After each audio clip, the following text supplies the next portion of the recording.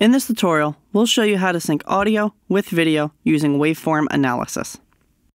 Today, we're working on Space Cats. The camera's internal mic was recording scratch audio, but we didn't slate. So I'm going to sync via waveform. It's pretty magical. Premiere does all the work for you. Inside the audio folder and EVA1 folder, I'm going to sync the two clips labeled waveform. Command or Control click on a PC and select both clips. Hold Control to right click and create multi-camera source sequence. I only have one camera, so it's not really a multicam, but this will create a sequence that has video and audio in sync, which acts like a clip and does not modify your camera originals, so you always have something to go back to. In the dialog box, I name it as clip name plus sync, so I know these are my syncs. I'm syncing with waveform, so I'm going to select audio as my sync point. You can also sync by in-point or timecode. Check out the links in the description below. Make sure you deselect the Move Source Clips to Process bin.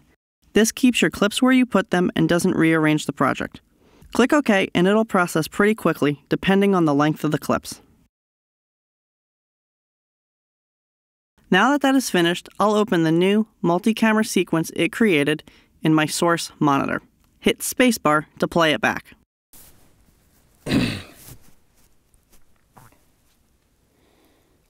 Another way to sync audio and video in Premiere is to use the audio waveforms from your camera. That looks like it's in sync to me.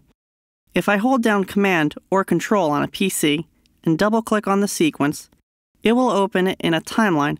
If you had more than one microphone in a scene, you can solo each mic here and pick the one you want to use.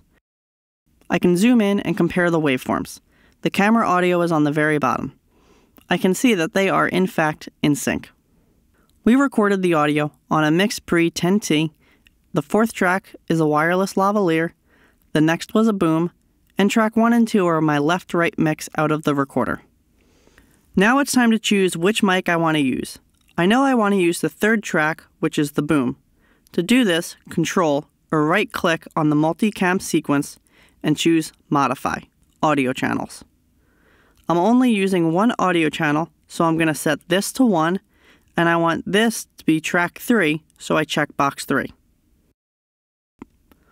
All of the audio tracks are still there, but when we play it back, it is a single mono source from the boom. Another way to sync audio and video in Premiere is to use the audio waveforms from your camera. I'm ready to drop this into my final sequence now. Press period to put the clip into the timeline, and I can see that there is a single audio track. If you want hands-on help syncing audio and video, stop by the Womp Haus.